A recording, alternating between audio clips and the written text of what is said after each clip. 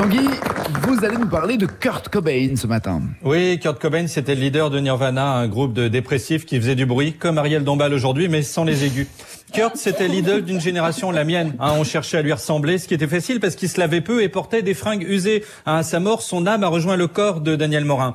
En 94, alors qu'il avait commencé à pourrir de son vivant, hein, il devait repousser les vers qu'il attaquait, ben il s'est donné la mort. Il supportait pas la gloire. Hein, c'est comme si là Didier Raoult se suicidait en avalant tout son stock de chloroquine après avoir dit à son assistant "Vas-y bébé, filme pour ma chaîne YouTube."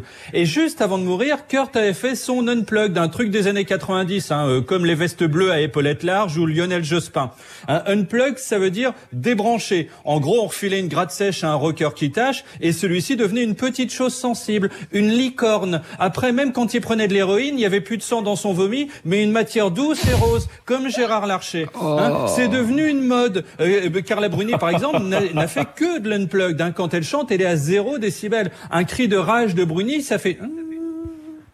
L'unplug de Nirvana, tout le monde l'a eu à l'époque. Moi, j'avais juste Ouais. l'argent pour m'acheter soit le CD, soit un lot de trois slips. Je me souviens, j'ai pris le CD. Hein, je l'écoutais, je me servais du boîtier en tant que slip. C'est pour ça qu'à chaque fois que je m'habillais, on entendait aïe. Et pour ce concert, filmé par MTV, Kurt avait une guitare acoustique, un instrument qui, si vous le donnez à David Guetta, celui-ci vous dit, je vois pas ce que c'est. Eh bien, joie, fétichisme, œil qui pétille, youpi poète poète, la guitare de Kurt va être mise aux enchères. Alors, la graisse de ses cheveux qui avait coulé est toujours dessus, hein, si bien que si vous voulez faire un do, ça glisse, vous faites un mi. L'intro de Stairway to Heaven, du coup, on dirait besoin de rien, envie de toi.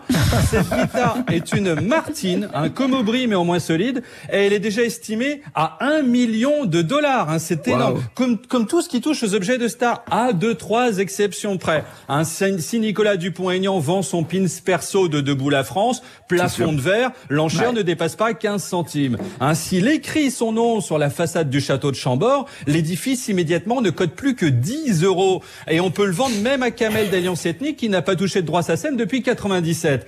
Mais le souci, c'est que Kurt Cobain haïssait le star system. Son allure répugnante était là pour dire vous idolâtrez des gens qui ressemblent déjà à ce que sera Cédric Villani en 2020. Donc faire du fric en vendant ces objets, qui s'il n'avait pas été célèbre trouverait même pas acquéreur sur le bon coin. Il y a un de ces gilets à trous qui s'est vendu 300 000 euros. C'est Alain Souchon qui l'a acheté pour le porter. Eh bien, tout ça, c'est la négation même de ce que Kurt était. Vous, Nagui, vous êtes écolo. Hein, vous aimez les petits oiseaux alors qu'ils vous volent la moitié Ouais. de vos repas qui sont constitués de graines. Oui, Eh c'est ben, vrai. si à votre mort, Peugeot sort une 206 Nagui, diesel, avec des baskets à clous à la place des pneus, Paris Tourcoing, on mettra 18 jours, eh ben, moi, je serai là pour dire, ce n'est pas ce qu'était Nagui. Merci. Et Peugeot devra me payer pour me faire taire. Au moins 40 euros, le prix de ma fidélité envers vous, Nagui. Mourir est une mauvaise idée, parce qu'ensuite, il faut des proches très intègres pour faire que votre mort soit cohérente par rapport à votre vie. Si Anne Hidalgo, à sa mort, quand elle sera fait manger par un rat, on la met dans un corbillard à essence, ça n'ira pas. Il faudra que ce soit son corps sur le porte-bagages d'un Vélib. Cohérence. Et moi, je t'aime toujours, Kurt. Merci. Donc c'est cette guitare, c'est Unplug. Yes.